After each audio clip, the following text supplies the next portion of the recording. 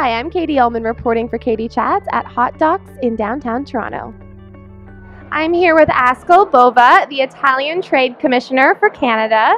How does it feel to have all of these exciting co productions between Canada and Italy uh, in the works about to happen? Well, it feels very good because uh, both Italy and Canada share common passion for culture, and I think that uh, filmmaking is great, but documentary is the first expression of filmmaking. We have 23 people come, delegation of 23 people coming from Italy, which is the, I think one of the biggest ever.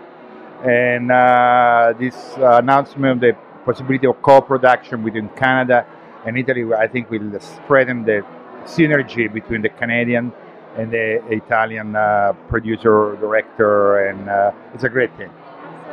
And what makes Hot Docs such a great venue for this announcement?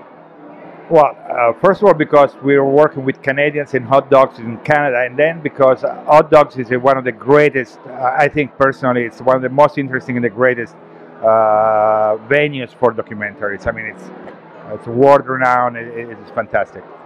Well, thank you so much, and congratulations. Thank you very much. Thank you. I'm Katie Uhlmann reporting for Katie Chats at Hot Docs in Toronto.